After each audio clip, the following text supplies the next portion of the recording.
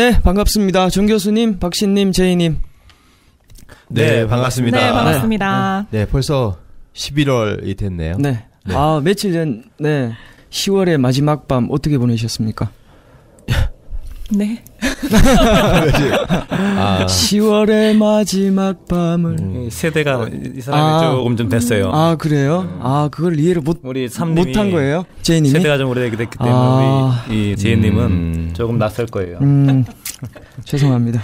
제가 원래 젊은 피인데 제가 늙은 티를 조금 냈습니다. 제가 지난번에 저 어디 멀리 좀 갔다 온다고 자리를 비웠는데 녹음 잘 하셨습니까? 아, 너무 잘 됐어요. 아, 그래요? 아, 진짜로? 아, 가짜로? 완전체로는 진짜 음. 오랜만에 뵙네요. 아, 네. 그렇습니다. 지난주에 그제 빠지고 누가 양 차장님 오셨나? 아니죠. 아니요, 아무도 안 오시고 아, 세 분만? 3인 체제로 아. 녹음을 했었죠. 아, 셋이 하니까 너무 힘들더라고요. 아, 그래요? 네. 쉴새 없이 얘기를 해야 돼요. 특히나 이게 네. 사회자가 없으니까 제가 사회자가 얼마나 참 힘든 자리인가 음. 이런 것을 여실히 음. 느낄 수 있었다. 삼림의 음. 빈자리가 그렇게 커 보일 수가 없었어요. 음. 알겠습니다. 오늘 네. 저녁에 닭백숙 한방울이 성공적이네요. 네. 알겠습니다. 저 저는 지난주에 어디 좀 멀리 갔다 온다고 자리를 어, 뭐 네, 함께 하지 못했는데 공항 아쉽죠? 갔다 오셨다면서요? 맞습니다. 네, 공항을 찍고 오셨다고. 네, 비행기 날아가는 것만 보고 왔습니다. 아, 네. 그래요? 그 공항 상태에 빠지셨다고. 아, 네. 혹시 출국 금지라도 못, 못 나가는 거예요? 아, 아 블랙리스트인가요? 네. 아, 아, 블랙리스트. 진짜인가? 네. 알겠습니다. 지난 주에 빠져서 너무 너무 죄송하고요. 어, 저는 공항을 갔다 왔고, 교수님, 지난 주에 어떻게 지내셨습니까? 지난 주 뭘 했나? 어, 크게 특별히 한 게 없네요. 음, 지난주에는. 요새 음. 저도 어제 한 일도 잘 기억이 안 나더라고요. 뭘 했는지. 아, 나는 그래도 네. 나이가 들어서 님은 그러면 안 된다. 아, 아이고 저는 뭐 네. 저기 세계 한상 대회를 네. 좀 갔다 왔어요. 한상 한상 대회. 그 뭐 한상 차림이 아니고 네. 세계 그 한국 그 한국인 동포들 음. 동포들 재외 동포들이 음. 모여서 있는데 이게 상인 상인이에요. 아, 네, 네. 예, 한국 모든 상인들이 모여가지고 서로 네트워크를 하고 동포들끼리 결국에는 비즈니스를 해서 우리나라를 이제 국익을 좀 상승시키고 자기도 이제 좀 부자 되고 음. 뭐 이런 게 되겠어. 음. 근데 박신님은 네. 장사를 안 하잖아요. 그러니까. 네. 아 장사를 하진 않지만 그 장사하시는 분들도 다 동포들이기 때문에 네. 그분들과 함께 우리가 앞으로 우리 역사와 문화를 어떻게 좀 더 이렇게 복원할 수 있는가 이런 것을 좀 논하는 자리였죠. 아, 굉장히 네. 있어 보이는데. 네네. 아, 네. 그 거기 계신 분들은 환단고기를 아시는 분들이 좀 계시던가요?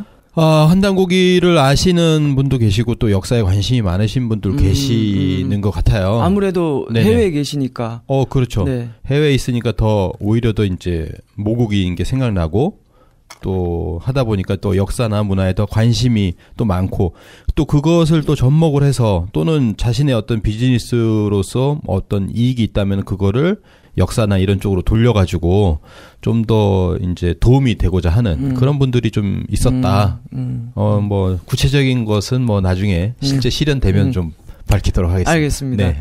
혹시 토르 영화 이번에 새로 나온 거 보셨어요?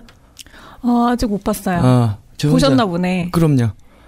그거를 봤는데 음. 그 보니까 갑자기 그런 생각이 들더라고요. 그 우리 의 역사적인 뭐 시, 그게 신화든지 뭐든지 역사를 가지고 정말 저렇게 컨텐츠를 잘 만들면 얼마든지 우리나라에도 경제적인 수익을 얻을 국익을 확보할 수 있는 그런 컨텐츠들이 많을 텐데라는 아쉬움이 좀 생기더라고요. 그렇죠. 네. 지금은 이제 그 문화가 더 큰 수익을 낼 수 있는 네, 네, 네. 제조업보다도 네. 많은 수익을 내는 네. 시대이기 때문에 네.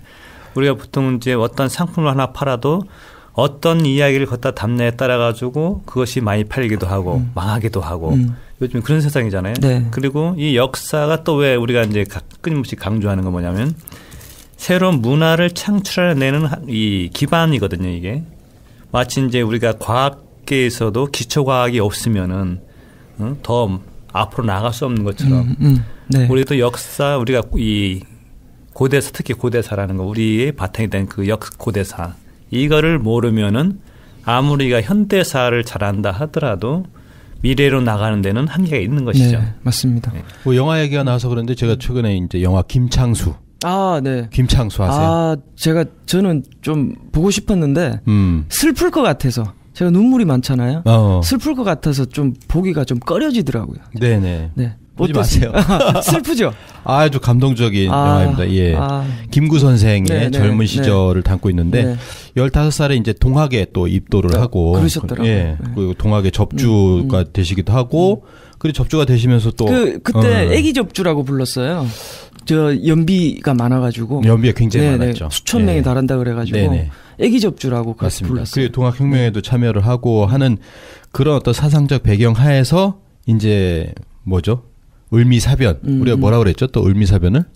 을무, 을묘, 외변. 아니, 을미, 을미, 아, 외변. 을미, 예. 음. 을미, 외변이 음. 일어나서 그거에 그 참여를 했다고 여겨지는 그 일본인을 이제 죽이는. 그렇죠. 예, 살인을 하는 그런 음. 과정. 음. 그리고 거기에서 이제 음. 살인이라기보다는 응징. 응징. 응징이죠. 예. 네. 고종이 이제 그 어, 죄를 사형해서 이제 면하게 해, 음, 음, 주는 그런 음. 과정까지를 음. 짓고 있는데 그 감동 깊은 명언이 하나가 있었어요. 음. 거기 보면은 뭐라, 뭐라 뭐라고 하냐면은 잊지 마라. 이 모든 것이 지울 수 없는 역사가 될 것이다. 음. 역사 야, 얘기가 나오더라고요. 예. 네. 그래서 그 100년 전에 그 김구 선생의 어떤 젊은 시절이었지만 그 김구 선생이 거기서 만약에 사형을 당했다면 어떻게 될 것인가? 뭐이 독립운동사의 판도가 완전히 뒤바뀌는 네. 그런 상황이었는데 음. 거기에서 이제 고종 황제께서 음. 그러한 역할을 또 하셨다는 거 음, 음. 지난번 대, 대한제국 어. 편에서 아마 밝힌 바 아, 있습니다. 네. 예. 제가 그 김창수라는 영화가 개봉을 했다길래 제가 백범일지 책 보던 거를 한번 다시 봤는데 음. 김구 선생이 일본 병사를 죽이잖아요. 응징을 하고 난 다음에 거기다가 요새 말로 하면 플랜카드를 붙여가지고 내가 죽였다. 어디로 찾아와라. 벽보 같은 거. 예, 예, 네. 그걸 붙여가지고 어, 당당하게 자기 신호를 밝히는 그 부분 제가 다시 봤는데 그 영화는 슬플 것 같아요. 제가 음. 나중에 준비가 마음의 준비가 되면 보도록 하겠습니다. 예. 네. 네. 참 삼님이 생각보다 마음이 상당히 여리죠. 아, 그럼요. 네. 음.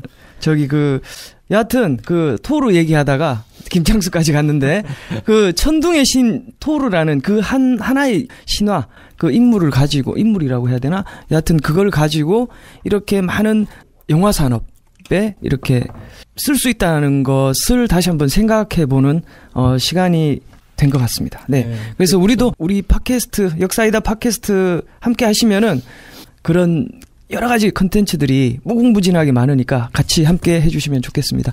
뭐 지난번에 한번 간단하게 언급했는지 모르겠지만은 이게 일본 같은 경우는 그 일본 그 상사들이 외국에 진출해가지고 그 일본 물건만 파는 게 아니에요. 아 그렇죠. 걔들 음. 문화를 같이 팔아요. 음, 맞아요. 그래서 전 세계 사람들이 일본 문화가 독창적이다 뭐 그렇게 생각하게 만들어 놓은 거거든요. 근데 음. 우리나라는 음. 문화를 잘안 팔아요. 네, 네. 이제 한류가 나가니까 그나마 거기에 편승해가지고 뭔가 음. 좀 챙겨보려고 그러는 음. 것이지 근원적으로 우리 문화, 우리 역사를 갖다 이 파고 들어가지고 거기서 전 세계를 감동시킬 수 있는 그런 음. 문화 상품을 만들어낼 생각이 아직까지 음. 너무 부족하다는 거죠. 맞습니다. 음. 지금의 뭐 한류 음. 하면은 K-팝이나 K-드라마 그렇죠. 정도를 음. 생각을 하는데 그거는 일종의 오프닝 무대인 것 같아요. 그렇죠. 어, 실제 우리 역사 문화가 제대로 나가는 본 무대는 시작도 안 했다. 제가 얼마 전에 그, 그 이란을 갔다 온 친구가 있었는데 그 친구가 얘기하기를 이란에서는 지금 주목 열풍이래요. 어. 그래서 휴일이나 이럴 때는 90 시청률이 97%까지 나왔대요. 주몽이. 근데 그 이란이라는 나라가 대장금을 방영했을 때 80%까지 대장금 그 열풍이 불었는데 요새는 주몽을 하는데 그 친구가 물어봤대요. 주몽이 언제 종영이 되나 되냐 물어봤더니 종영이라는 게 무슨 뜻이냐 이렇게 묻더래요. 그래서 아니 예를 들면 1부부터 뭐 60부가 있으면 60부가 되면 끝나는 거 아니냐 이렇게 물어봤더니 이란 사람이 얘기하기를 예를 들면 60부까지라면 60부 끝나고 제방, 3방, 4방, 5방, 6방, 7방 지금 계속 그 무한 리플레이 중이에요. 지금 주몽이. 음. 네. 그럼 어, 외우겠네. 아니 근데 참 그것도 어. 문제예요. 이 주몽이라는 그 역. 그 그러니까 드라마가. 그 속에 들어가 있는 오류가 있잖아요. 네, 그 오류가 어. 좀 심각한 게 많죠. 어, 어. 특히 이제 그 주몽이 공국하는 그 과정이 있어가지고. 네, 네. 한 나라가 지나치게 부각돼 있다는 거. 그렇죠. 아, 그 문제 음. 참 심각한데 그게 그대로 음. 그 사람들 머릿속에 그대로 박힌다는 그렇죠. 게. 또 소선어, 소선어의 그 태생. 그렇죠. 그런 것도 많이 음. 왜곡이 돼 있고 부여도 사실은 전혀 연관성이 없는 걸로 음. 그렇게 해서 이제 한 인물이 세력을 규합해서 음. 점점 점점 확산시켜 나가면서 고구려를 건국한 것으로 나오는데 네. 그렇게 오방육방을 이렇게 계속 계속 보다 어. 보면 습득이 되는 그러니까요. 수준이 아닌가. 네. 근데 그 얘기를 하면서 뭐라고 얘기하냐면 300이라는 영화. 아, 스파르타. 아, 네, 거기에 이제 나는 관대하다라고 나오는 약간 변태적인 왕으로 묘사되는 그 왕 있잖아요. 그렇죠. 네. 그런데 실제로는 굉장히 성군이래요. 어, 그래서 어. 이란 사람들은 그 영화, 그 영화를 얘기하면 굉장히 붕괴를 한대요. 근데 음. 그 얘기를 또 이제 얘기를 들어보니까 사실 그 전쟁에서 그쪽 뭐 나라가 이기지도 못했대요, 사실은. 맞아요. 승리한 전쟁도 아니래요. 네, 맞아요. 어. 그런데 그 300이라는 영화를 만들어서 그렇게 미화하고 자기들의 왕, 역사적인 성군을 막 그렇게 묘사한 것에 대해서 굉장히 막 붕괴를 한다 그러더라고요. 그, 그 얘기를 들어보니까 이해가 되더라고요. 그러니까 그 음. 그 페르시아가 음. 그 당시에는 그 중동 지역을 석권한 음, 음, 통일한 나라였거든요, 이게. 그래서 이란 같은 경우는 페르시아 문화의 정통을 이었다고 자부심이 강해요. 네, 그 네, 나라가. 네, 네. 네. 그 주몽 대장금 때문에 한국 사람 가면 너무너무 좋아한대요. 음. 보통 친절하다라는 말로는 묘사하기 부족할 정도로 간슬게 다 내줄 정도로 너무너무 친절하답니다. 음. 3년 갔다 와야겠네. 네. 대장금 전문가신데. 그러니까. 음. 아이고, 네. 가셔서 이제 음. 카이스트도 이렇게 전파를 그러니까. 하시고. 자, 영화 드라마 전문 팟캐스트 역사이다. 모든 문화를 섭렵하는. 네, 네 알겠습니다. 어, 여하튼 우리 역사 문화를 가지고도 뭐 많은 좋은 콘텐츠 만들어서 전 세계에 알리면서 또 우리 역사 문화의 결정체가 바로 홍익인간이고 쉽게 얘기하면 위아더 월드 아닙니까? 네, 그러한 어, 사상들을 같이 함께 나눌 수 있었으면 좋겠습니다. 자, 우리 제이님 근황은 별로 궁금하지 않고요. 네. 잠깐만 들어보죠. 특별한 근황보다도 네.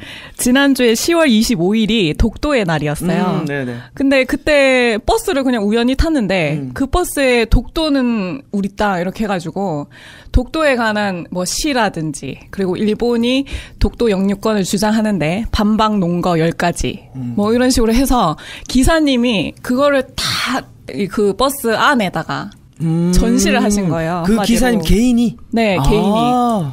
그래서 뭐 음. 서장훈 씨가 이제 독도 음. Do you know 이렇게 해가지고 음. 독도가 한국의 영토인 걸 알고 있냐 이런 이제 광고도 냈었잖아요. 네네. 그런 광고라든지 뭐 독도에 관한 시라든지 그런 것들을 A4에 다 이제 작성을 해가지고 음. 코팅을 하셔가지고 어.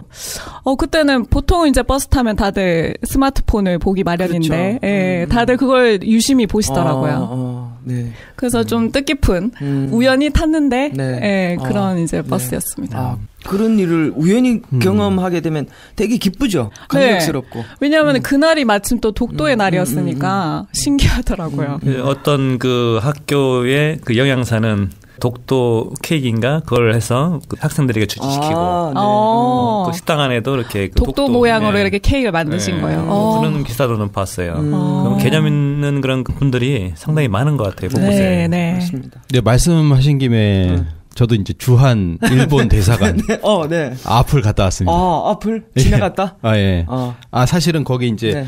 어, 최초의 그 평화의 소녀상이 있잖아요. 아, 네. 예, 소녀상이 있어서 음. 근데 그 소녀상이 지난 9월 말부터 이제 심의를 열어가지고 종로구에서 공공 조형물 제 1호로 지정을 했어요. 음. 그럼 종로구에 해당되는 공공 조형물이 된 거예요. 그렇죠. 그럼 그걸 옮기거나 음. 또는 부수거나 훼손할 수가 네네. 없어요. 네. 그게 이제 이제는 순환 어. 받는 일이 좀 줄어들겠네요. 그렇죠. 공식적으로 네. 지정을 했죠. 음. 그래서 그 지정을 기념하여 음. 한번 갔다 왔습니다. 아. 그래서 일본 대사관 앞, 앞을 보니까 일본 대사관이 그 앞에 있는 소녀상이 딱 바라보고 있는 빌딩에 6층과 7층에 있어요. 아. 네, 그래서 음. 그 바라보는 시선과 같이 해가지고 일본 대사관 한 번 이렇게 쭉 네. 째려보고. 음. 예. 잘하셨습니다. 아, 예. 느꼈을 거예요. 네. 아, 오늘 자꾸 영화 생각이 나네요. 음. 그 아이캔 스피크라는 영화도 개봉을 최근에 한 건가? 끝났나? 아, 그럼요. 아, 최근에 했죠. 지금도 최근에, 하고 있을 거예요. 네네. 네. 아, 그것도 아, 아니, 나만 빼놓고 이게 영화들을 잘하는 것 같아. 아니 슬플 것 같아서 아니, 자주 못 보겠어. 보셨네. 아니, 아니, 아니 저희도 좀 데리고 아. 가주세요. 아니 슬플 것 같아서 못 보겠어. 아, 정말. 못 보셨다고. 어, 어. 음. 그게 개봉했다는 것만 보고 음. 아 이거 또 속 터질 것 같아가지고 음. 못 보겠더라고. 알겠습니다. 자 간단하게 제이님 근황까지 잠깐 들어봤고요. 오늘 저 특별히 우리 교수님 저 힘들게 목소리 키워서 말씀 안 하셔도 되게 오늘 정 교수님만 특별히 비싼 마이크 앞에 놔드렸습니다. 네. 네. 바스락 바스락. 네. 거릴까봐 지금 굉장히 조심하고 계신데. 어, 예. 네. 숨쉬기도 힘들어요. 어, 우리 어. 들어온 후원금으로 바꾼 건가요? 음, 아직 그것까지 안 됐는데. 이 사실 정 교수님 사제를 털어서 후원금과 합쳐서. 어. 네. 저 아, 너무 걸로 네. 알겠습니다. 제가 저 소리 모니터 하고 있으니까 좀 바스락거리셔도 괜찮아요. 소리 뭐 그렇게까지 귀에 거슬리는 정도 아니니까. 아니, 네. 숨 쉬는 소리가 이게 잘 들리니까 어. 예, 숨쉬기가 음. 힘들다니까 지금. 음. 그 교수님 편하게 해드리려고 했는데 숨도 못 쉬게 하면 이게 고문 고문인데 고문. 아 너무 좋은 것 같아요. 네. 네. 알겠습니다. 아. 여러분들 많은 관심 속에서 저희들이 좋은 마이크도 하나 새로 마련했습니다. 감사드립니다. 자, 오늘 본격적인 주제로 들어가겠습니다. 자, 오늘 본격적인 주제로 들어가기 전에. 왜요? 들어가기 전에. 최근 그 역사 기사 나온 거 한번 몇 개 어, 음. 언급하면서 시작하도록 하겠습니다. 어, 교수님, 한번 정 교수님이 말씀하신 건데, 고구려 벽화에 이 통역사가 있다라는 기사가 한결에 단독 기사로 떴습니다. 그 정 교수님이 이걸 한번 보라고 단톡방에 한번 올려주셨는데요. 저는 처음 보고서 아 그랬구나 통역사가 있었구나 싶었는데 역시나 교수님이 기사를 올린 이유가 따로 있었습니다. 잠깐 정리 좀 해주시죠. 네, 이 기사에 난 그 벽화는 덕흥리 사모분. 네. 그 고구려가 지금의 중국의 북정 일대, 하북성 일대를 다 점유해서 다스렸다는 예, 근거로서 이제 우리는 삼고 있는데. 아, 덕흥리. 예. 네. 근데 그 지금의 주류 사기라든가 중국에서는 그게 아니라 중국에서 망명한 고구려로 망명한 진이라는 인물의 음. 묘다. 중국에서 고구려로 망명한 진이라는 인물의 음. 묘다. 근데 음. 이 묘가 왕릉급이거든요. 네네. 예. 그리고 근데 이제 이 여기 벽화에서 진이라는 인물이 유조자세를 지냈어요. 네네. 이게 지금 화북성 지금 북부예요. 네네. 화북성 북부인데 북경을 포함해 가지고 음.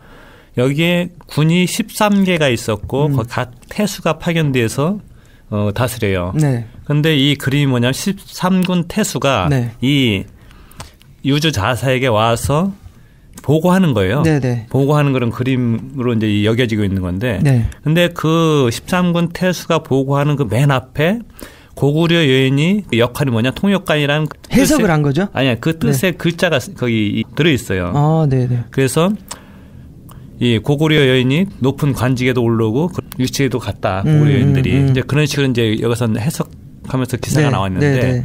근데 여기서 또 한 가지 이제 뭐라고 또 얘기가 나오냐면은 이 여성이 고구려 여인이 아니라 기화해온 여자일 수도 있다. 어디로? 뭐 고구려로. 아 고구려로. 네. 아, 음. 근데 만약에 이 보고받는 사람이 유주사사를 지냈던 진이란 인물이었으면은 네네. 이 사람들 다 중국 사람들 아니에요? 그렇죠. 그렇죠. 당시에. 음. 그러면은 왜 통역관이 필요했을까요? 음. 중국 사람이 중국 사람에게 보고를 하는데. 그렇죠. 왜 통역관이 거죠? 왜 고구려 통역관이 필요했을까요? 음, 네, 네.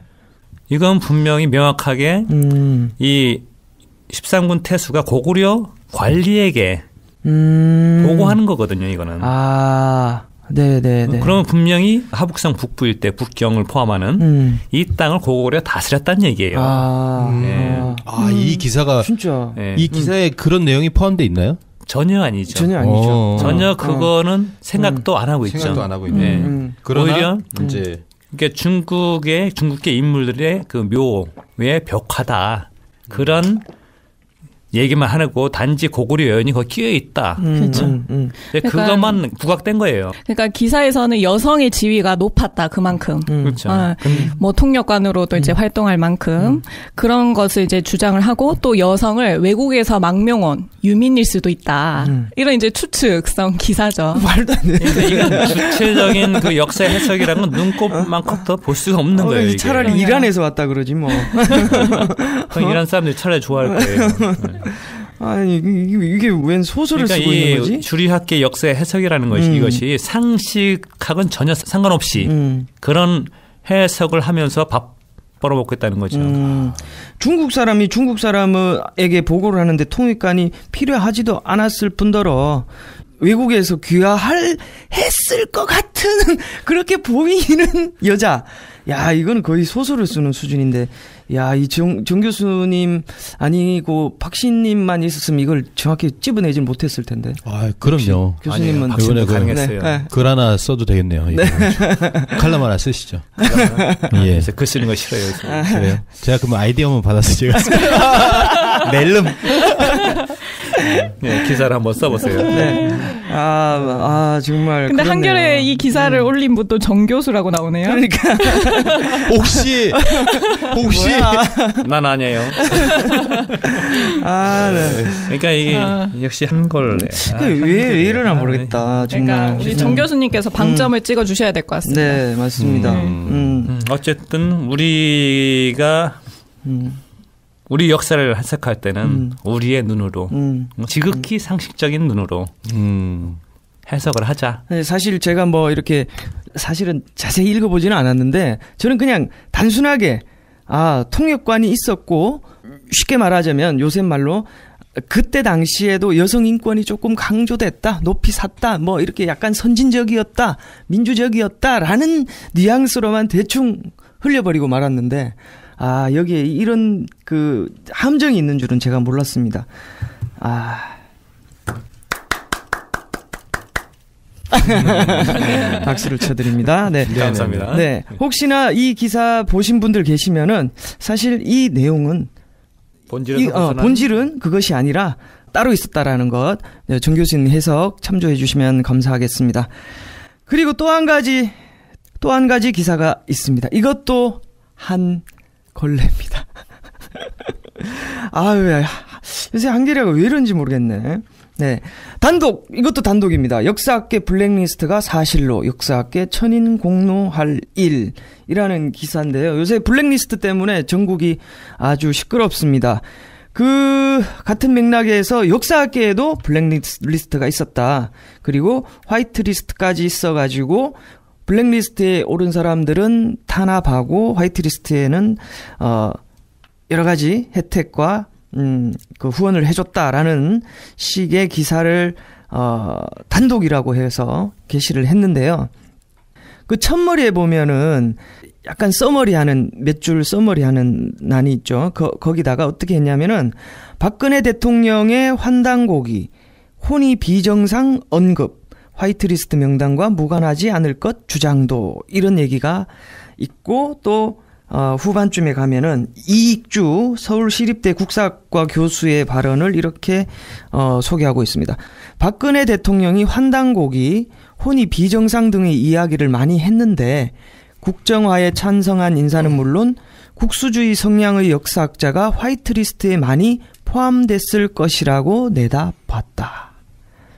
박신님 이 주장에 대해서 어떻게 생각하십니까? 일단 박근혜 대통령이 음. 환단고기를 언급한 적은 없죠. 없죠. 환단고기는 음. 없고 이제 행촌 이암 선생의 음, 음. 어, 이야기를 인용한 적이 그렇죠. 있습니다. 2013년에 어. 있는데 네. 그거는 이제 어떤 비서관이 써 어떤 연설문을 쓰시는 분이 써줬는지는 알 수가 없고요. 그러면 중요한 것은 뭐냐면 환단고기에 있는 내용들을 반영하려고 이 정부에서 노력을 했느냐. 네. 그리고 그것이 이제 국정 교과서에 그런 것이 실리지 않을까 우려를 음. 했다라고 하는데요. 네.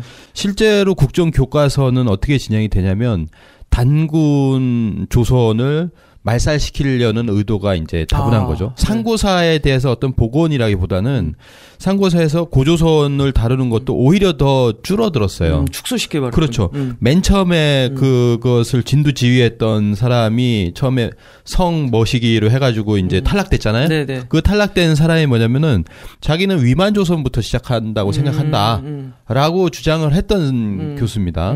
위만 조선부터 시작을 하지 고조선 당군은 신하고 위만 조선에서 이제 시작을 해서 망했다. 고조선은 그런 것을 주장하던 사람이 그때 맡았었어요. 네네. 맡았었고 그리고 그것이 지나서 또 다른 사람이 이제 상고사 쪽을 이렇게 맡아서 국정 교과서를 진행을 했고 우리가 그걸 봤잖아요. 음. 그 샘플본을 봤는데 그 샘플본을 보더라도 어, 고조선이라든지 그 이전 시대에 대해서 더 오히려 더 어떻게 보면은 왜곡된 그런 부분으로 음.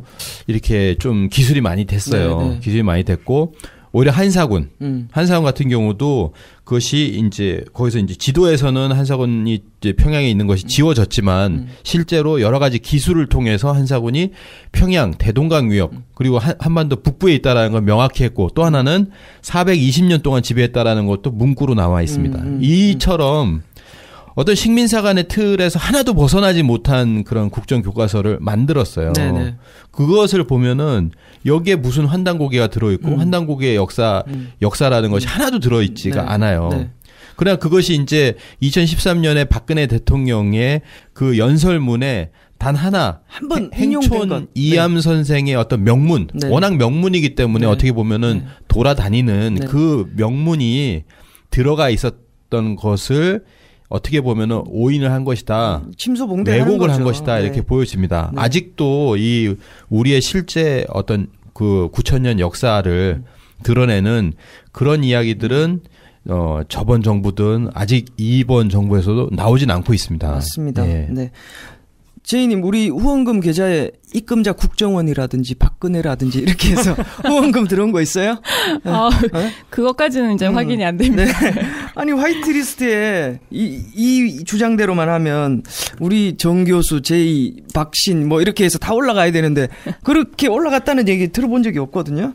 근데 이거를 어, 접촉도 안 해와요. 네. 네. 그뭐 네. 그리고 보시면 아시겠지만 음. 이 블랙리스트에 들렸던 교수들 네네. 네. 사실은 이것은요 국정교과서라고 하면 하나잖아요. 근데 그 네네. 네. 전에 이제 여러 가지 종류가 있는데 8종도 있었고 9종도 있고 그렇죠. 네. 다양한 종류가 있으면은 네. 거기에 지금까지 어, 많은 교수진들이 다 참여하고 음. 어떻게 보면은 그 여러 종류에 참여함으로써 자신도 어떤 이득을 취할 수 있는 네네. 그런 거예요. 음. 다양한 종류가 있으면 네, 좋잖아요. 네, 그렇죠. 그런 거지. 이거에 어떤 사관을 뭐 고대사에 대한 어떤 사관을 바꾸고 이런 부분이 아니었다라고 네네. 네. 보여집니다. 음. 가령 이제 우리가 독도라든지 위안부 문제를 갖다가 얘기하는 것은 사실 우리나라 사람으로서 당연한 거죠. 그렇죠. 상식선으로 당연한 거예요. 음. 그러니까 당연한 걸 가지고서 블랙리스트라고 하는 이 부분에 참여했다고 해서 이 참여한 사람들의 어떤 역사적 성향 음. 그것까지도 비호받을 수는 없다라는 아, 거죠. 그럼요. 가령 여기 보면 맞습니다. 송모 교수가 있잖아요. 네네네. 네, 그러면은 뭐 단군은 신하다, 음. 뭐 고조선은 없었다라고 음. 주장하는 사람이고 음. 홍산 문화 우리 거 아니다. 네. 거기는 뭐 음. 사, 음. 산융 뭐 이런 음. 데 거다라고 하는 식으로 이렇게 얘기하는 그런 교수거든요. 네. 그런 사람이 지금 이제 블랙리스트 명, 명단에 있기 때문에 이 사람이 칭찬받아야 된다. 이거 자체만으로는 그 얘기를 할 수 있지만은 그 모든 어떤 역사관이라는 이런 부분에서는 식민사학을 하는 사람들 또 그 자신의 이득을 위해서 이 그 국정교과서를 반대할 수밖에 없었다라고 그렇죠. 하는 것도 네. 어뭐 음. 말씀을 드리고 싶네요. 네. 네. 어차피 국정 교과서가 되면 기존의 그 거민정 체제에서 여러 가지 다양한 역사 그 학 교과서를 만들 때 참여하던 일들이 끊어지기 때문에 사실은 뭐 밥줄하고도 연결이 되는 거죠. 그러니까 이 송호정이라든가 이 사람들이 음. 자기들이 음. 뭐 국책 사업 신청한 게 음. 떨어졌다. 자기들이 국정교과서에 반대했기 때문에 블랙리스트에 올랐다. 그게 뭐 무슨 민주화 영웅 뭐 하듯이 뭐 그렇게 자기들 생각하는 모양인데 음. 근데 이 사람들이 이제 국정화 반대할 때는 이유가 박근혜가 환단국에 빠져서 환단국이 음. 그러니까 제야에서 준영하는 그 환단국의 내용을 이 국정교과서에 넣어가지고 자기들 입지를 줄일 것이다 하는 그 선입견. 환상, 환상이 있어 선입견 네. 때문에 네. 아마 네. 그렇게 반대하지 않았나는 생각이 들어요. 음, 음.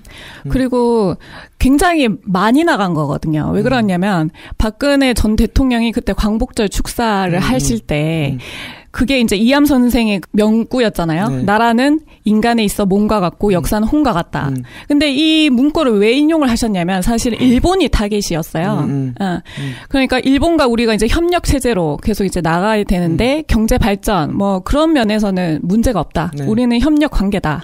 하지만 역사에 있어서는 우리의 영혼에 상처를 주고 또 신체 일부까지 이제 떼가려 한다. 그게 바로 이제 뭐 역사 왜곡과 그리고 뭐 영토 문쟁 네.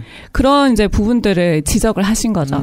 그래서 우리가 진정한 협력 동반 그리고 이제 뭐 동북아 평화를 이어 나가려면 사실은 우리가 이제 영혼의 상처를 주는 그러한 일은 이제 더 이상 해나가면 안 될 것이다. 이것을 이제 얘기를 하면서 사실은 일본은 이런 문제를 직시를 하고 과거를 바로 잡아 나가야 될 것이다. 음, 이것을 이제 음, 음. 전하기 위해서 음. 인용을 한 거예요. 음, 음. 이 워딩만 가지고 문제를 삼는 건데 판단곡이나 국수주의자들에게 어, 혜택을 더 주는 것 아니냐. 이렇게 하면서 이제 너무 나간 거죠, 음, 사실은. 그렇죠. 네. 음. 어, 이덕일 소장님 같은 경우도 얼마 전에 그 스토리 펀딩 하시면서 뭐, 그 과거사 문제라든지 뭐 일본 그 독립운동가 그런 문제 해가지고 어렵게 어렵게 그 학문적 연구와 또 활동, 사회 활동들을 하고 계시는 걸로 알고 있는데, 어, 사실 환단고기 또는 우리가 얘기하는 민족사학계 쪽에 국가의 세금이 단일원도 들어와 본 적이 없어요, 사실은.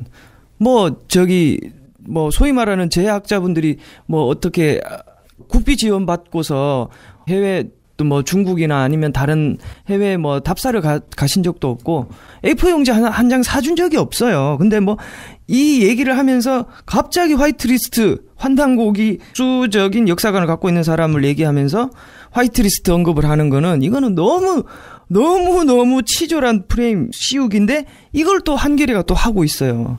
아, 왜 이런지 모르겠네 이 인간들은. 그러니까 지금 음, 이 음. 특히 고대 사학계에서 음. 국수주의를 마치 제약시하는 그런 그 말을 많이 만들어내는데 네.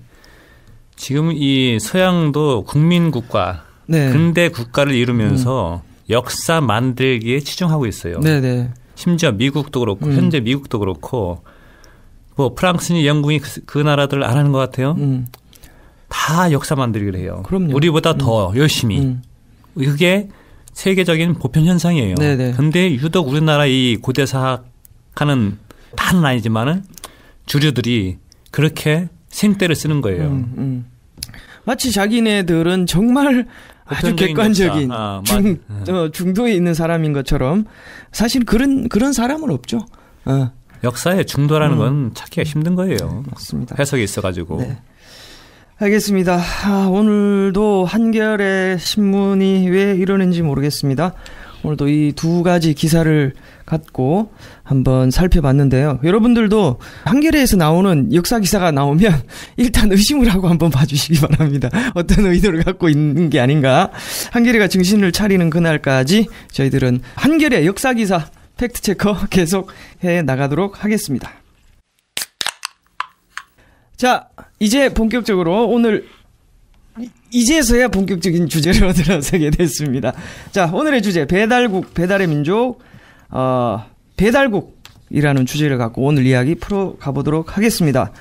자, 지금까지 계속 녹음을 해오면서 환국 배달국 또 고조선 이렇게 흘러가는 우리나라 국통맥에 대해서 계속 살펴봤는데요. 오늘은 집중적으로 배달국에 대해서 살펴보도록 하겠습니다. 배달국이 어떤 나라입니까? 예, 우리가 이제 뭐 평소에 하는 말 중에 이제 배달의 민족이라는 네. 말이 있습니다. 네. 배달국이라는 그런 어떤 나라 명칭보다는 배달의 민족이다라는 말을 정말 많이 써왔었잖아요. 그랬, 그랬습니다. 맞습니다. 네. 그래서 그 저 같은 경우도 이제 예전에 이제 영화 하기 전에 배달의 기수라는 그렇죠. 항상 틀어줬죠. 항상 틀어줬었는데 그게 언제 없어졌죠? 한 80년대 없어졌나? 음, 정확히 잘 모르겠습니다. 예, 예. 네. 제이 님도 그, 그 같이 보셨죠?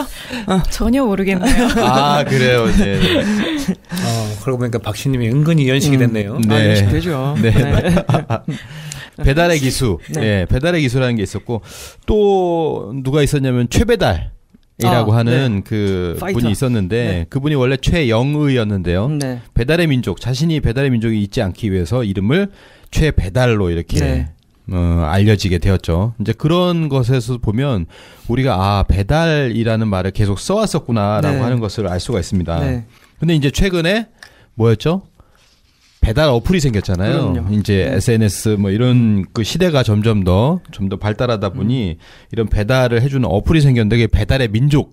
이라고 하는 네. 어플을 많이 쓰면서 요즘 세대들은 배달의 민족을 그 어플로 음. 그 배달 어플로 인식을 하고 네. 있죠. 네. 예. 딜리버리로 알고 네네. 있죠. 예, 네. 그렇습니다. 그 최근에 2015년에 세계 외국인 한국어 말하기 대회에서 대상을 받으신 분이 있어요. 몽골인 음. 아. 오양가 씨가 있는데 네. 이 오양가 씨가 이렇게 얘기를 합니다. 공원, 잔디밭, 심지어 다리 밑에서도 장소 불문하고 배달이 가능한 배달의 민족. 음. 정말 감탄스럽습니다. 라고 하는 이 네. 배달 문화에 관해서 얘기를 해가지고 음. 대상을 탔어요. 아. 음. 대상을 탔는데 배달이 가능한 배달의 민족이라고 이제 네. 얘기를 했거든요. 이 배달의 민족이라는 말을 어디서 들었을까라고 음. 하는 게 생각을 해보게 된 거죠. 음. 이분도 아마 배달의 민족 어플을 쓰실 거라고 이제 생각이 네. 들어요.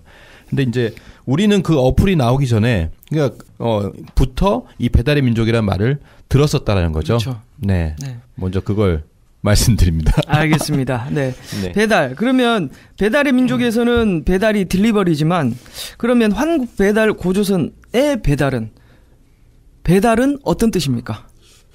이 어, 사실 배달의 민족 어플을 좀 얘기를 해야 될것 아, 같아요. 네. 네. 그 어플을 만든 음, 사람이 네. 아니 뭐 예, 예. 수영금 들어왔어요. 아 그러니까 김봉진 김봉 하시나 봐요. 예, 네. 김봉진 대표라고. 아. 저는 뭐 배달을 많이 하지 않아요. 썩. 네. 예, 예. 가, 서 먹습니다. 예. 네. 근데 김봉진 대표라고 이분이 이제 배민다움이라는 책을 썼는데요. 음. 이 책에서 보면은 처음에 이 배달의 민족이라 어떻게 명명을 하게 됐느냐 그 나옵니다. 음. 친구랑 같이 둘, 둘이 걸었대요 이렇게 음. 걷다가 친구가 대현이에요. 대현아 배달의 민족이라는 이름 어때? 좋아요 형. 그럼 그걸로 하자. 이제 사업을 하려고 했으나 가볍게 생각을 하면서 그냥 생각이 난 거예요. 우리를 배달의 민족이라 하고 이제 배달 어플을 만들어야 되는, 되는데 가장 많이 쓰는 말이 그거니까 음. 배달의 민족으로 하자라고 한 거예요. 근데 그 책에도 보면 뭐라고 나오냐면 이 배달의 민족이라고 하는 것은 중의적인 의미가 있죠라고 하면서 이것저것 많이 배달 음식을 시켜 먹는다는 의미에서 배달의 민족이기도 하고 밝은 땅에 사는 민족이라는 중의적 의미가 있죠라고 음, 이렇게 얘기를 합니다. 음. 그러니까 이 사람도 배달의 민족이라고 왜 우리가 배달의 민족이라 할까라고 음. 하는 것을 조사를 해 본 거겠죠. 그러니까 음.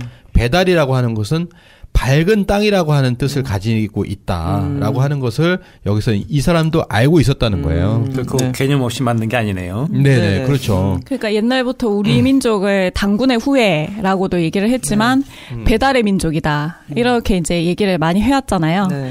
뭐 제가 여기서는 그래도 젊은 축에 속하는데 배달의 기수 세대는 어, 아니지만 네. 그렇죠 네. 배달의 기수도 잘 모르고 네. 저희 때만 해도 배달의 민족이라는 얘기는 잘 안 했어요.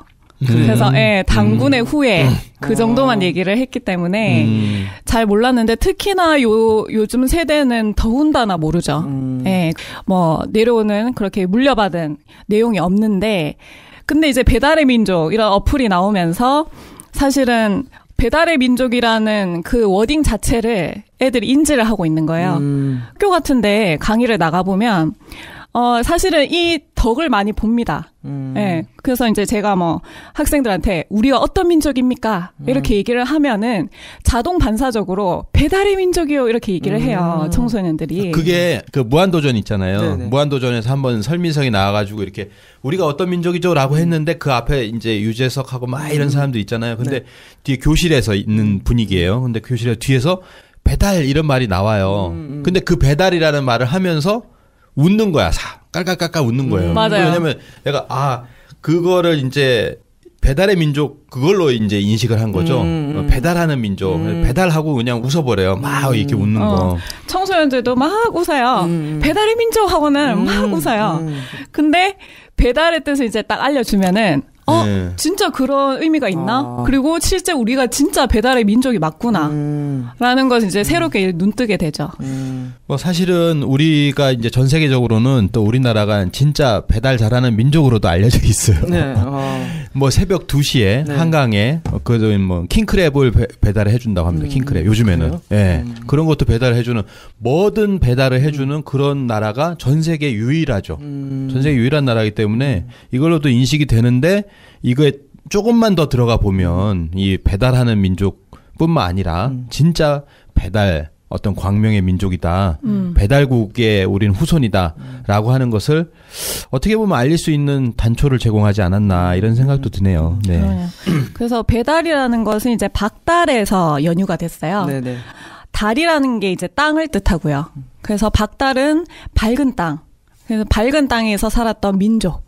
그런 이제 뜻이 있고 그렇기 때문에 이 박달이라는 것은 밝음을 뜻하는 그런 이제 의미를 가지고 있다. 음, 음. 그래서 뭐 배달결의라고도 하고 뭐 배달의 민족이라고도 하고 네. 예.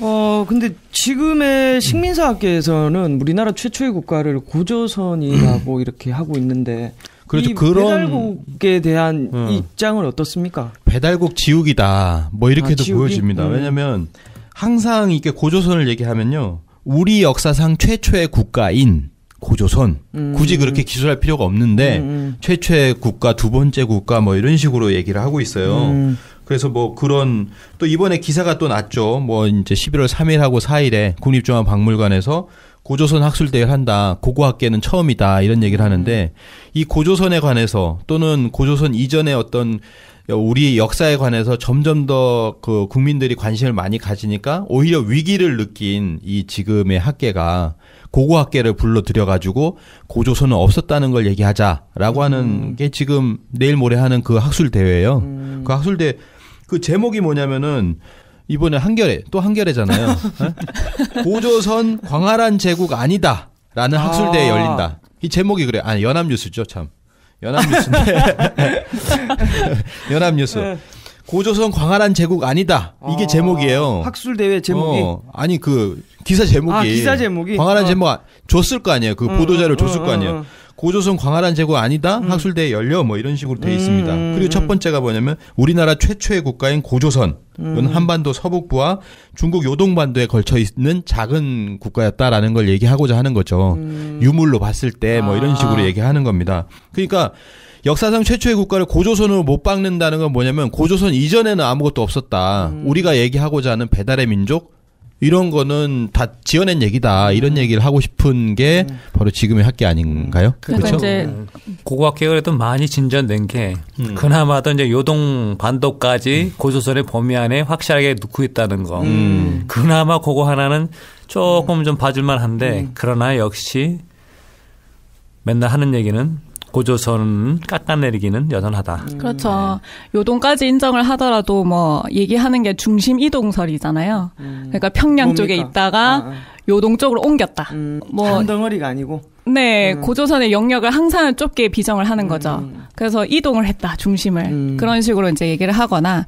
그러니까 원래는 이제 고조선 자체를 잘 안 다뤘죠. 잘 안 다뤘고, 당군 신화로 그냥 치부해 버렸는데 사실은 지금처럼 이렇게 상고사가 많이 대두가 되고 얘기가 많이 오고 가기 때문에 고조선 없애려고 하면서도 고조선을 확실하게 못 박으려고 하는 이중성이 동시에 나타나요. 음. 고조선이 있긴 있었대.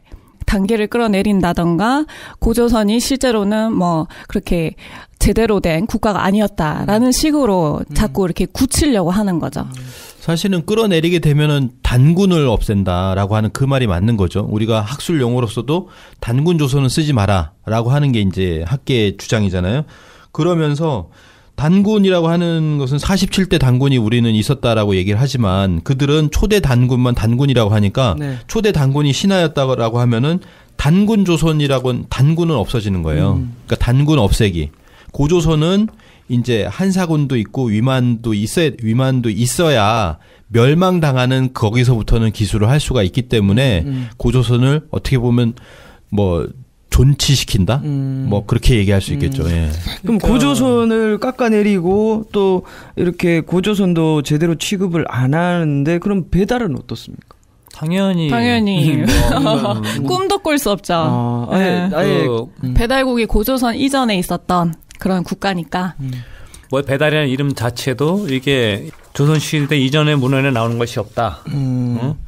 오로지 구한말 이후 일제강점기 초기에 그때 등장했기 때문에 그 믿을 수가 없다. 음. 이게 주류 사학계의 그 입장이에요. 음. 근데 사실 뭐 삼국유사 고조선기나 그 부분을 보면요. 뭐가 있었냐면 일단 석유 황국이 있었고 네. 그 다음에 위지 신시 네. 이름하여 신시라고 한다라고 네. 해서 신시에 도입을 했다 도읍을 정했다라고 음. 하는 것이 나오고 네.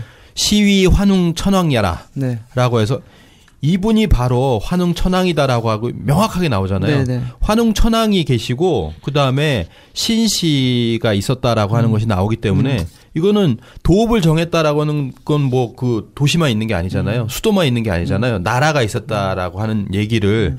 이미 상국유사에서도 언급을 하고 있다라는 거죠. 음. 그런 것을 완전히 이제 지금은 부정하고 있다라고 하는 거죠.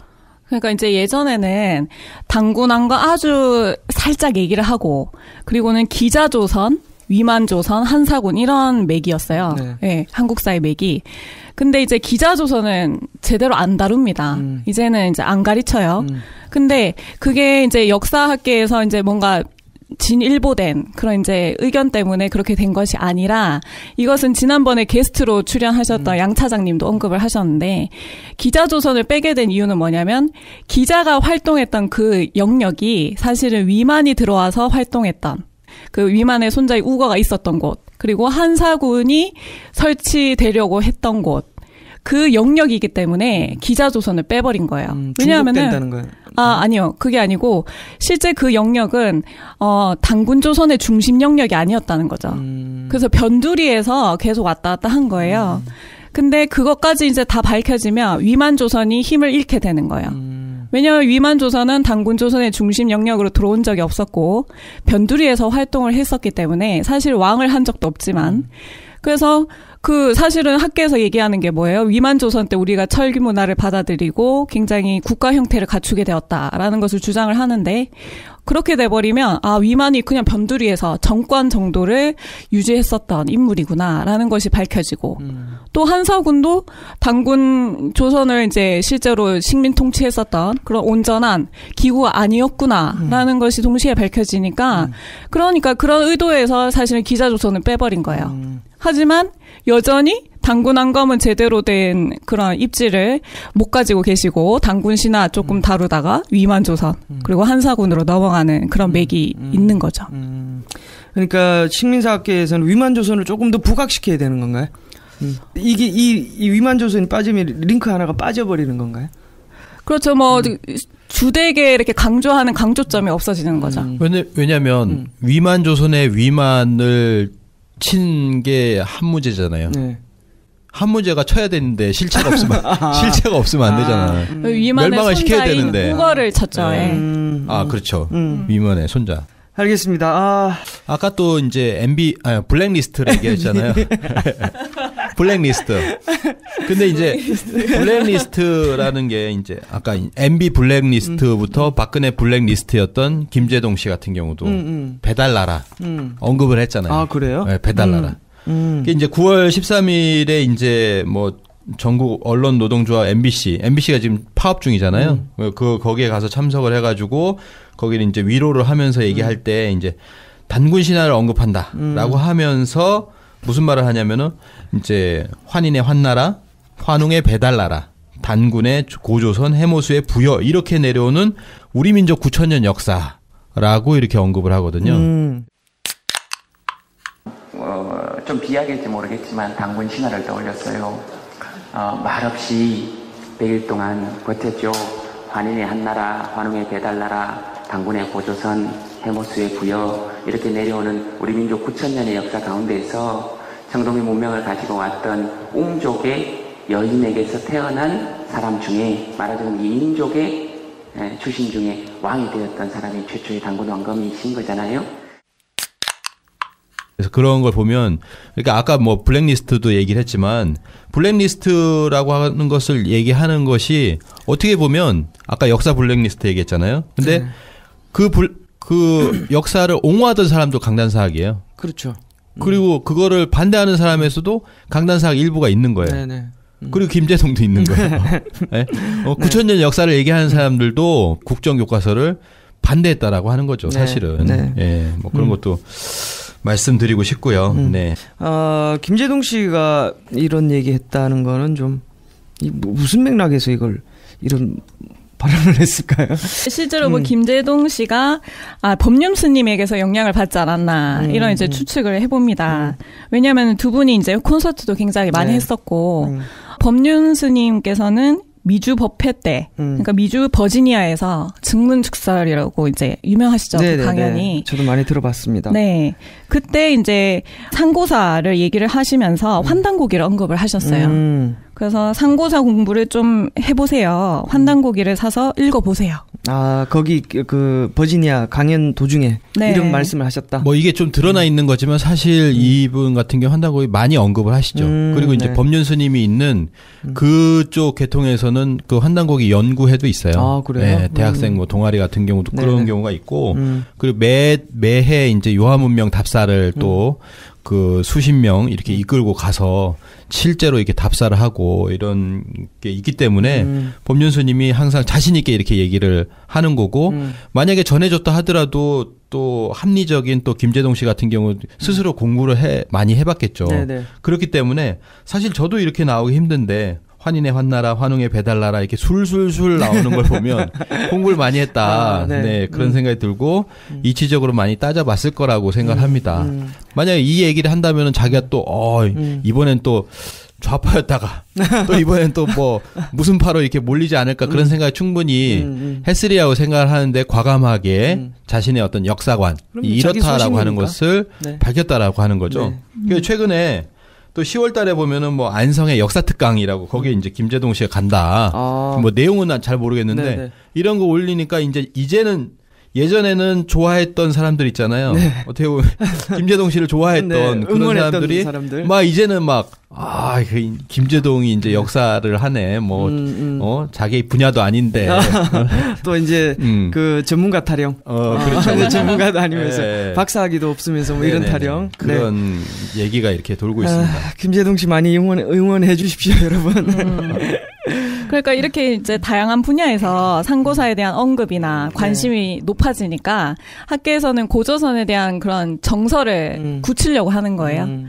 그래서 예전에도 뭐 고조선 박사로 이렇게 송어정 교수를 음. 내세웠었잖아요. 네네. 네. 그것처럼 이제는 뭐 학술대회나 열린 시민 강좌 음. 그런 것들을 통해서 상고사를 이제 음. 어, 굳히기를 하려고 하는 음. 거죠. 지금처럼 이렇게 음. 뭐 팟캐스트도 있고 이 열린, 열린 정보 사회 속에서는 그네들도 이제 더 이상 감추기는 좀 어려울 것 같아요. 요, 인, 최근에 또 같이, 다 같이 보셨지만 역사에 대한 기사가 올라오면 정말 그 식민사학계를 비판하는 댓글들이 너무너무 많고, 음. 네, 그들의 실체를, 어, 우리 시민들도 어느 정도 알고 계신 분들이 대단히 많은 것 같아요. 고요. 네네. 음, 전 또 그런 생각이 들었습니다. 음. 배달의 민족 그 대표가 네. 사실은 숨은 뜻이 있지 않느냐. 음. 그냥 배달만 하는 것이 아니라 이걸 네. 통해 가지고 음. 우리가 배달의 민족임을 확실하게 알리자. 음. 이 중의적인 의미를 네네. 알고 있었잖아요. 네네. 그래서 그런 쪽에서 이 음. 배달국 어? 배달국의 역사를 밝히는데 음. 우리 배달의 민족이 네. 앞서야 되지 않냐. 앞장서야 된다.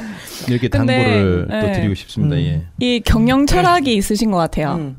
그러니까 뭐 우리가 좀 우리만 잘 살자 네. 그런 이념이 아니었잖아요. 실제로 네. 우리 민족의 그런 통치 이념이나 그런 것도 이제 우리가 좋은 것은 계속해서 이제 나누고 전하고 전수를 하고 문화를 전수하고 그런 이념이 있었는데 배달의 민족도 그런 것들을 많이 실천을 하시더라고요. 음. 그러니까 아 그런 활동들을 하신다고? 네, 실제로 음. 배달의 민족에서는 글씨체를 개발을 해요. 아. 글씨체를 개발해서 가장 가독성이 뛰어나고 네.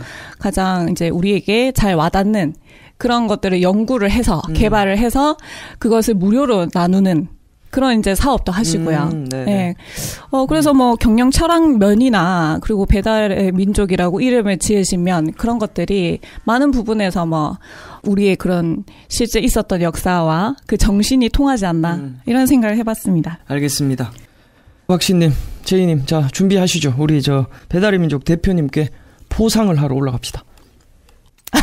그렇죠. 예. 네. 우리 아, 게스트로 한번 음, 이렇게 보시게끔, 예. 뭐. 우리 들으시게끔 이렇게 하면 음, 되죠. 알겠습니다. 예. 뭐 비선 배달의 민족 홈페이지 어, 어. 자유 게시판에 네. 자 역사를 배달해 주세요. 네, 알겠습니다. 우리 저 이 배달국에 대한 배달 나라에 대한 언급이 우리 신흥 무관학교 교과에 아주 잘 나와 있는데 이 내용이 박신님 이 노래 들어보셨죠? 네, 네. 뭐 신흥무관학교는 아시겠지만 1911년에 서간도에서 개교한 독립운동 독립군 양성 기관입니다. 네. 뭐 석주 이상용 그리고 뭐 이회영 선생 이런 분들이 네.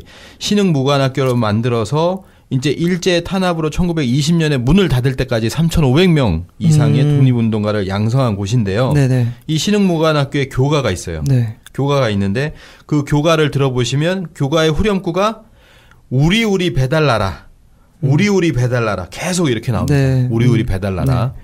그러니까 한번 들어보시면 굉장히 장쾌하고 재밌어요. 네. 아, 이 노래 감동적입니다. 네. 이 노래도 이 노래를 들어봐도 어 우리 이때 독립운동 하시던 분들이 국통맥이나 우리나라의 맥에 대해서 아주 정확하게 잘 알고 계셨던 것 같아요. 그렇죠. 네, 우리 뿌리에 대해서 음, 실제로 그 네. 독립군 분들이 그 천부경, 네. 천부경을 이제 공부를 하고 그의 정신을 이제 서로 이제 전수를 하고 네. 그리고 뭐 어아가를 불렀다는 음. 그런 음. 이제 어 얘기도 있습니다. 네, 네. 네. 알겠습니다. 이 노래 한번 같이 들어보시고 가시죠.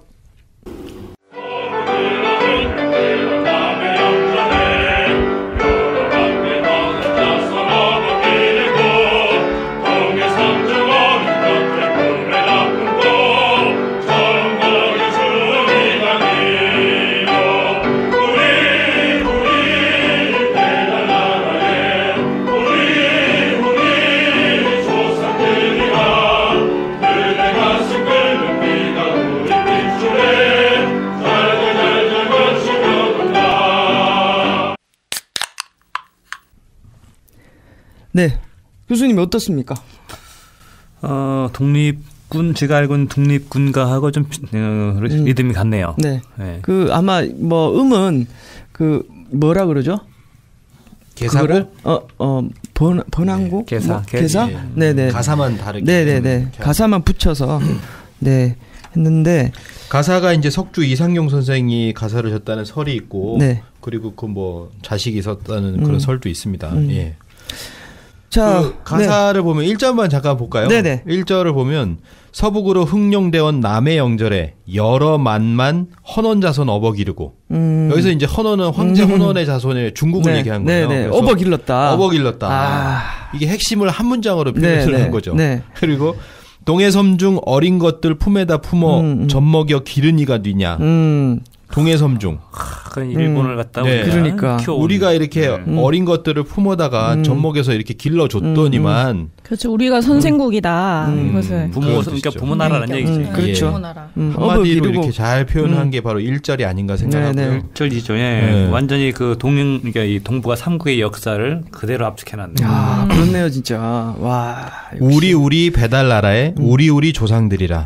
우리 우리 배달 나라의 우리 우리 자손들이라. 음. 우리 우리 배달 나라의 우리 우리 청년들이라. 음. 라고 하는 이 후렴구가 있어요. 네. 여기서 가장 중요한 게 우리가 배달 나라다. 음. 배달의 후손이라고 하는 이 문구가 독립운동가들이 노래를 부르면서 이거를 아, 이게 각인하지 않았을까. 네. 그러면서 음. 이제 예, 독립 하는 마음을 음, 키웠겠죠. 음, 정말 네. 피가 끓었을 것 그러니까 같습니다. 이 가사를 네. 보게 되면은 이 당시에 그 이 봉인돼 있던 민족 사서들이 이때 많이 풀려났다 하는 생각이 들어요. 음. 음. 근데 이제 주류 사에서는 이 책들이 구한 말에 아니면 일제 강점기 초기에 갑자기 쏟아져 나와서 이것들을 이 부정하는 그 경향이 강하거든요. 이 음. 책들을. 음. 근데 이 근거 없이 이분들이 특히 이상용 선생이라든가 이 독립운동 하던 핵심 되는 분들은 이건 이분은 상당히 그 학식이 높은 분들이거든요. 음. 그리고 어떤 분들은 아 특히 이제 그 김규현 선생 같은 경우는 지금 얘기하는 국립대학교 교수 음. 같은 분이었잖아요. 이분이. 네. 음. 네? 그런 분이 그 이 실단실기라든가 그런 역사서를 썼단 말이에요. 그럼 이제 그런 류들의 책들 우리가 이제 뭐 환단국이라든가 규원사라든가 그런 류들의 책들이 어 이 독립운동 하시는 분들 사이에 널리 퍼졌었다는 거죠. 그러니까 1911년에는 환단곡이 초간본이 나오고 그리고 아까 말씀하신 김교원의 신단실기가 1914년에 나오는데 이 김교원의 신단실기에 보면은 이런 말이 있습니다. 나라 이름은 단이라 했으며 배달이라 불렀다라고 음. 하는 구절이 있거든요. 네. 네. 음. 그래서 배는 조야요, 달은 휘하다라고 해서 이렇게 이제 풀어 풀어서 이제 얘기하는 음. 경우가 있었고요. 음. 그리고 1915년 동사연표 어윤적이 지은 동사연표는 거기에서는 계림유사를 인용을 합니다. 계림유사에 이르기를 단은 배달, 국은 나라, 군은 임금이라 하여 단군을 단군을 배달나라 임금이라고 풀이하였다라고 음. 하는 또 구절이 있어요. 그래서 1914년, 1915년에 나왔던 문헌들의 전부 배달, 백달 이런 말들이 나오고 있고요. 또 그 이전에 나왔던 조선시대 이제 규원사와 이 규원사와 단군기에 보면 뭐라고 나오냐면 단 단군할 때 그 단은 박달 혹은 백달이다 이렇게 나오거든요. 음. 단은 박달 혹은 백달이다 이렇게 나옵니다. 음. 그러니까 백달, 박달 이게 배달, 음. 배달 민족이라는 거예요. 음, 음, 예. 음. 자, 이런 것들이 이 배달이라는 국호가 이미 이런 문헌들에 이미 나오고 있어요. 근데 네. 이것이 일제 시대로 딱 들어가면서 본물처럼 터져 나오거든요. 왜 그러냐면 일제 시대 그리고 대한제국 시절까지만 하더라도 뭐가 있냐면은 어 삼조선 단군조선, 기자조선, 위만조선에서 한사군으로 이, 이 역사 이 역사가 이제 정통 역사로 이제 공인받은 음. 역사가 돼버렸잖아요. 음. 유교 명사대주의에 의해서 고조선 이전의 역사를 기술한 모든 책들을 수서령이라는 네네. 미명하에 네. 50년 동안 다 걷어들여가지고 음. 불태워버리거나 그걸 간직하고 이렇게 있고 그걸 가지고 있는 개인이 가지고 있으면 그 사람을 뭐 목을 친다라고 하는 것까지 네, 이제 네. 얘기를 했었죠. 네. 그런 어떤 살벌한 상황 속에, 속에서 우리의 원래 있었던 역사가 다 숨어 들어갈 수밖에 음, 없었던 상황인데 음. 그것이 대한제국을 거치고 일제 강점기로 들어가니까 거기에서 오히려 더 음. 그걸 이제 입장이 풀려버렸네. 그렇죠. 일본이 네. 막 뺏으려고 음. 20만 권을 강탈해가고 하는 네. 과정에서도 그걸 숨겨서 드러내버리는 음. 그런 상황이 이때 음. 확 드러나지 않았나. 음. 시대적 환경이 그럴 수밖에 없겠, 그렇죠. 없었겠네요. 네. 네. 그러니까 실제로 이렇게 핍박받던 그런 이제 상황 속에서 신단실기라든지 환단국이라든지 지금은 학계에서 전혀 인정하지 않는 이러한 책들이 오히려 민족혼을 함양시키고 음. 어, 그런 독립에 대한 그런 의지를 크게 일으켰다고 볼 수가 있습니다. 네. 그러니까 그런 책들이 독립운동 일화로 만들어진 책이 아니라 원래 있던 그렇죠. 책이 드러난 거예요. 그렇죠. 네. 네. 그러니까 음. 우리가 그렇잖아요. 조선시대에는 6.25를 국시를 하면서 그 위에 모든 책이라는 거는 사문 난적이라 그래가지고 음. 이 걸리면은 음. 다 그냥 그 이 비판의 대상이고 음. 다 불태워지는 거고 음. 그 다음에 가문이 망하는 거거든요. 근데 구함 그러니까 이, 이 대한 제국이 새롭게 이제 그 각성하고 그 다음에 일본이 우리의 그 민족 정신까지 침탈하는 그 이 과정 속에서 진정으로 이제 그때 이 숨겨진 우리 역사가 드러난 거죠. 우리는 그렇게 생각을 해야 되는데 이 주류 사격 이 사람들은 어떻게든지 우리 이 위대한 역사가 기록된 그 책들은 다 위서로 몰고 있어요, 이 사람들은. 음, 그렇죠. 네. 그러니까 난세의 영웅이 나타난다 이런 말이 있잖아요. 네네. 그러니까 실제 이 민족이 위기에 처했을 때 실제로 민족의 정신을 일으킬 수 있는 음. 그런 중요 사서들이 다 드러났다고 네. 보시면 되겠습니다. 네. 어떻게 보면 지금 학계가 얘기하는 게 뭐냐면 독립운동가들이 거짓 역사를 만들었다. 음. 뭔가 이렇게 그렇지. 독립운동에 필요를 위해 가지고 뭔가 이렇게 뭐 배달도 만들고 뭐 이런 식으로 얘기를 하는 거예요, 음, 사실은. 음. 근데 허상은 힘이 없어요. 네, 거짓이었다면 음. 그게 실제로 존재하지 않았다면 그것은 일시적일 뿐이지 그게 진짜 사람들의 마음을 움직일 수 있는 그런 정신을 일깨울 수 있는 그런 힘이 없다는 거죠. 그리고 이 우리나라 학자들은 이 거짓이라고 하는 것 자체에 대해서 상당한 그이 분별력이 강하고 또 그런 걸 상당히 거부를 하는 사람들이었어요. 음. 그런 학문적 정통을 가진 사람들인데 왜 이 사람들이 일부러 거짓 역사 없는 거를 만들어낼 이유가 없거든요. 음. 그리고 그걸 만들어낸다 하면은 어떤 근거를 가지고 만들어내지 음. 근거 없이는 못 만들어내는 거예요. 음, 그렇죠. 네. 그렇죠. 음. 알겠습니다. 어, 역사이다 팟캐스트 같이 들으시는 분들 고조선 이전에 배달국은 존재했습니다. 그리고 우리는 배달의 민족입니다. 자, 그러면 배달이라는 나라가 어떻게 건국되었고 또 어떻게 어 어떤 정치 제도와 문화를 갖고 있었는지 살펴보도록 하겠습니다.